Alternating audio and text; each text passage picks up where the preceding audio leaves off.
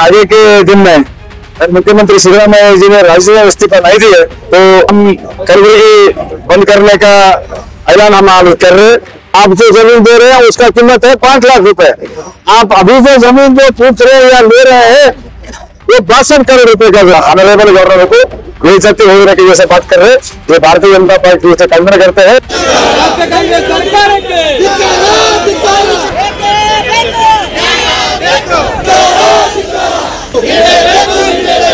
रहे हैं, मैं समझता हूँ, कहीं भी, कोई भी राज्य में ऐसा राजनीति नहीं चला। हम हमेशा बोलते आ रहे हैं कि कांग्रेस हमेशा भ्रष्ट है, और सिद्धरामैया उसका एक बहुत बड़ा एग्ज़ाम्पल आज बन चुके हैं। वो ना ही नोएडा का एक जो स्कैम जो हम बोल रहे हैं, वो स्कैम में इन्वॉल्व है। उसके अलावा वो दलित लोगों का, बैकवर्ड लोगों का जो पैसा है वाल्मीकि निगम में जो हुआ है, एक सौ सतासी करोड़ रुपया उन्होंने ट्रांसफ़र करके एक बोगस अकाउंट में उनका अमाउंट ट्रांसफ़र हुआ और वहाँ से वो तेलंगाना भेजते हैं, बल्लारी भेजते हैं अच्छे अच्छे बड़ी बड़ी गाड़ियाँ खरीदने के लिए वो फंड है ना यूज़ करते हैं। उसका मतलब क्या है? येडियूरप्पा हमको हमको सिद्धरामैया जी को बोलना है कि तुम्हारे आदेश के बगैर तुम फाइनेंस मिनिस्टर होने की वजह से सब कुछ आपके नाक के नीचे हो रहा है। तो डेफिनेटली आप हर इस मामले में आप इन्वॉल्व है। कांग्रेस पार्टी जो केंद्र से, जो आपको आदेश दिया गया, वो हिसाब से ये पैसा आप पार्लियामेंट में बांटे हैं। पार्लियामेंट चुनाव में बांटे हैं। इसके अलावा नोएडा का जो एपिसोड है नोएडा का जो स्कैम है, अरे आपके मिसेस कौन सी कौन सी ज़मीन को दान देते हैं? उनके भाई, जो दलित परिवार का वो ज़मीन है। वो दलित परिवार का ये जो ज़मीन है, उसके बारे में पेपर से नहीं है। उससे पहले वो, उनको जो तीन भाई थे, वो मीरा बोल के जो आदमी था, उसके तीन भाई थे। तो उन्होंने सभी लोग गुजर गए। लेकिन उनका बच्चा, एक बच्चा जो है ना, वो क्या बोलता है, इनको ज़मीन बेच लेता है। वो सस्ते में ज़मीन बेचता है। बेचने के बाद वो ज़मीन उनके मिसेस का भाई लेके उसको दान देता है। उनके मिसेस को दान देता है और वहाँ पे डेवलपमेंट होता है। और ये बोलते हैं, हमको पता ही नहीं है। जैसे कि कोई कोने में कुछ हो रहा है, तीन एकड़ सोलह घंटा का अगर डेवलपमेंट होता है तो आप क्या बोलते हैं? डेवलपमेंट के बारे में हमको पता नहीं है, इसलिए हमको दूसरा ज़मीन दो। आप जो ज़मीन दे रहे हैं, उसका कीमत है पाँच लाख रुपए।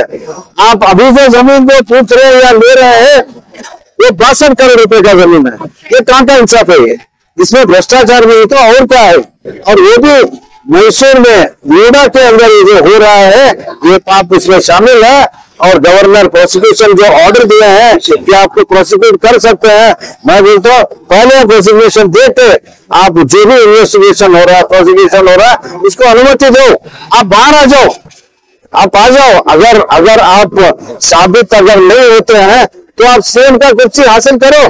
हम हम नाम नहीं बोलते, वो कांग्रेस पार्टी का इरादा है लेकिन आज आप रेजिग्नेशन दे के ये स्मूथ इन्वेस्टिगेशन होने के लिए एक मौका दो। हम सिद्धरामैया सिद्धरामैया को ये पूछना चाहते हैं, आप जब लीडर ऑफ़ द अपोजिशन थे तो आपने येडियूरप्पा जी को क्या बोला है? आपको प्रोसिक्यूशन हुआ है तो आप रेसिग्नेशन दो। हम भारतीय जनता पार्टी वाले हम आपको पूछ रहे हैं, वही सवाल हम आपको कर रहे हैं। आप रेसिग्नेशन दो रेसिग्नेशन देने के बाद इन्वेस्टिगेशन होने दो। गवर्नर का जो ऑर्डर है, उसको अमल में लाओ। आज भारतीय जनता पक्ष, भारतीय जनता पार्टी नगरा और ग्रामांतरित ज़िले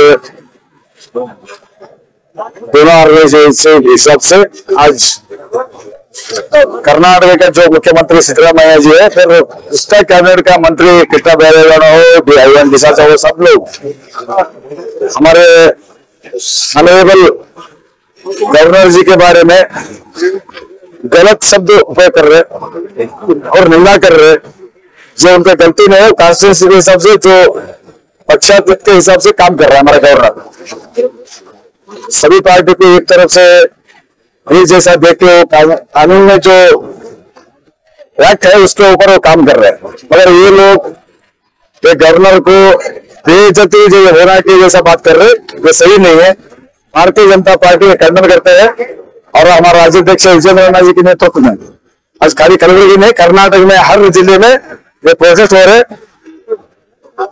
अगले दिन, आगे दि- आगे आगे के दिन में, मुख्यमंत्री सिद्धरामैया जी ने राज्य में इस्तीफा नहीं दिए तो अभी आगे के दिन हम कलबुर्गी बंद करने का ऐलान हम आज कर रहे और पूरा भारतीय जनता पक्ष का कार्यकर्ता इसके खिलाफ है और हम जो लोग कृष्णा बैरेगौड़ा और एवन डिसोजा है ये लोग अपने पद को इस्तीफा देना चाहिए, क्योंकि हमारा एक रेपुटेड एक ऑनरेबल गवर्नर को बेइज्जती होने की जैसे बात कर रहे हैं, ये भारतीय जनता पार्टी से खंडन करते हैं और हम सिद्धरामैया का इस्तीफा अपनी मांग कर रहे हैं।